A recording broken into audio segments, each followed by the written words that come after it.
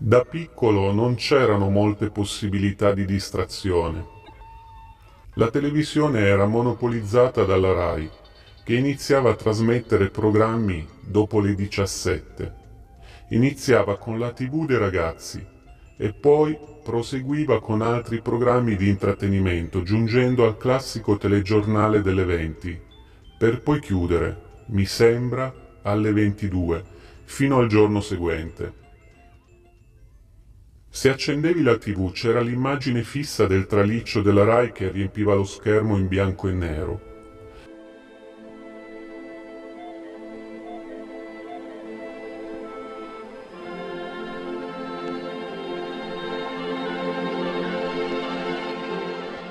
La radio, per chi ce l'aveva, non era molto diversa, fino a luglio del 1976 quando vennero liberalizzate.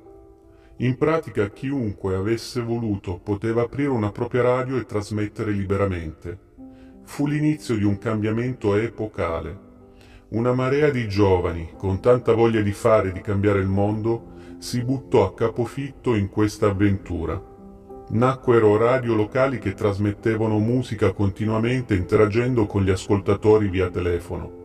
Memorabili erano i saluti che questi ascoltatori facevano in diretta, del tipo saluta mia zia Rosina del quarto piano, poi saluto Concetta della panetteria, un abbraccio a Michele del bar dell'angolo e poi volevo ricordare a nonna Mariuccia che a fine mese c'è la cena sociale alla bocciofila della parrocchia. Poi quando il conduttore stava per terminare la conversazione telefonica, immancabilmente ci si ricordava all'ultimo momento di aver dimenticato altri saluti e si ricominciava per altri cinque minuti. Mi veniva da sorridere all'epoca che ero bambino. Mi viene tanta nostalgia oggi che non lo sono più. Quello delle radio locali è un mondo che si è perso, travolto dai grandi network radiotelevisivi che hanno acquistato tutte le frequenze disponibili e sono diventati dei colossi nazionali. Certo, qualche radio locale resiste ancora, ma non sono certamente più la stessa cosa. Più che altro vanno avanti con programmi registrati e computer che gestiscono il tutto. Tanti personaggi che sono poi diventati famosi sono partiti da queste radio uno tra tanti Vasco Rossi. La radio era bella, era qualcosa che ti distraeva dalla routine quotidiana e nell'etere, passeggiando per le strade, dalle finestre aperte si sentivano queste musiche fuoriuscire allegramente. Nel giro di pochi anni la radio era un oggetto posseduto da tutti. Tra gli anni 60 e gli anni 70 molte famiglie riuscirono, con sacrificio, ad acquistare un'automobile e l'accessorio più gettonato, oltre l'accendisigari, era l'autoradio. Le prime autoradio erano con due manopole. Quella di sinistra accendeva, spegneva e regolava il volume. Quella di destra cercava la frequenza. La modulazione di frequenza giusta la trovavi guardando un indicatore su una specie di display analogico che ti faceva sentire all'apice della tecnologia era il mondo 0.0. Quando parcheggiavi la macchina dovevi estrarre l'autoradio dal suo vano e portartela sotto il braccio per evitare che te la rubassero. Era normale, la domenica, durante la passeggiata classica pomeridiana, vedere tutti gli uomini adulti con l'autoradio sotto il braccio e con un'altra radiolina transistor che tenevano nel taschino, collegata con un mono auricolare all'orecchio, per seguire la cronaca delle partite di calcio. Erano gli anni della schedina, di quella combinazione di X che avrebbe potuto farti cambiare la vita con il totocalcio. In ogni caso possedere una macchina e non possedere un autoradio, soprattutto per un ragazzo giovane, era assolutamente impensabile.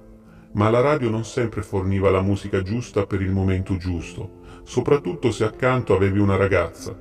Venne in loro soccorso la musicassetta, perché a quel punto eri tu a decidere quale musica mettere.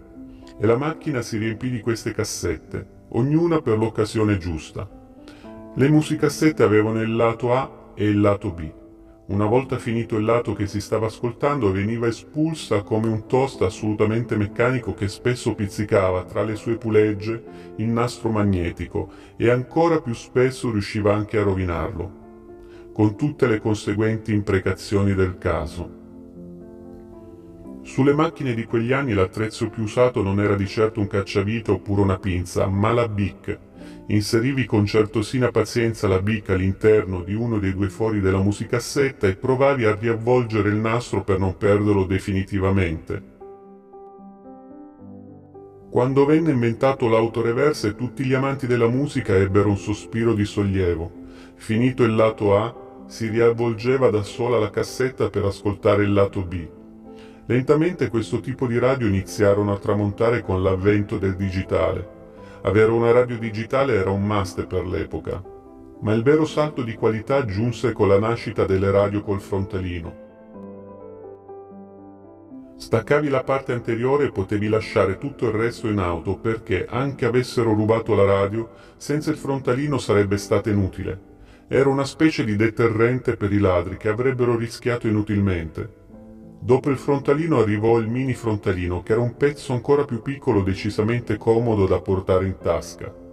Alla fine anche questo mondo declinò, quando iniziarono a nascere auto con la radio integrata nella plancia ma in tutto questo mondo delle radio c'era una terra di mezzo per molti inesplorata e sconosciuta, quella delle radio trasmittenti sulla banda dei 27 MHz dette volgarmente CB o baracchini. CB stava per City Band o banda cittadina. Bisognava aspettare ancora vent'anni perché i primi modelli di cellulare apparissero sul mercato, come il famoso MicroTAC della Motorola, per cui possedere uno strumento che ti permettesse di parlare con altre persone, all'epoca, era qualcosa di veramente all'avanguardia. Per possedere questa radio, che potevi come l'autoradio installare in macchina, bisognava fare richiesta all'autorità competente delle telecomunicazioni. Solo con la licenza potevi utilizzarla e non tutti lo facevano.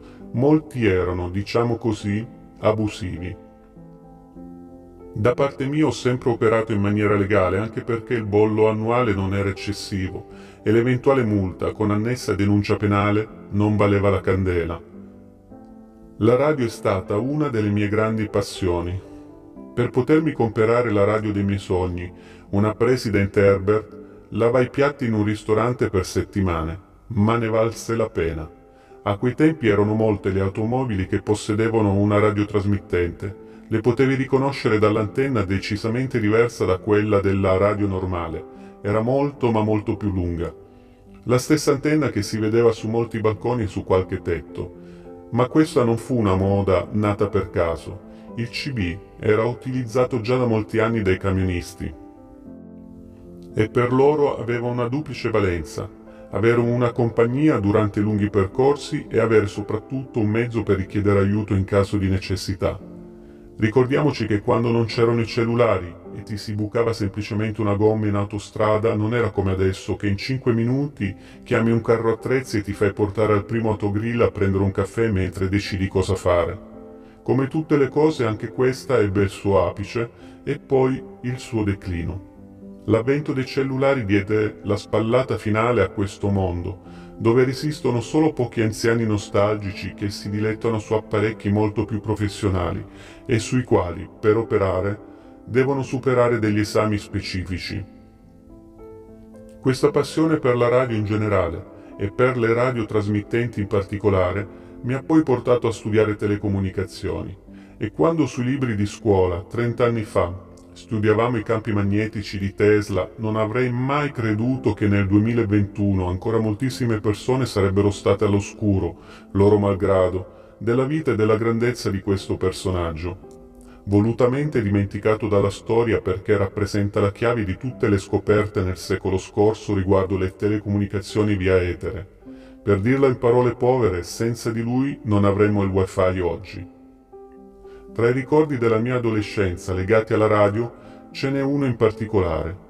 Weekend in montagna, un gruppo di amici davanti al fuoco di un camino, un buon bicchiere di vino in mano e una radiotrasmittente accesa. A parlare con un altro gruppo di ragazzi, a noi sconosciuti, in un'altra valle con un'altra radio. In alto nel cielo terso e limpido, la luna spettrale. Oggi vedo i ragazzi che, quando e se riescono a ritrovarsi da qualche parte, se ne stanno ognuno curvo in silenzio sul proprio smartphone, soli con se stessi. E lassù, anche la luna non sa più cosa dire.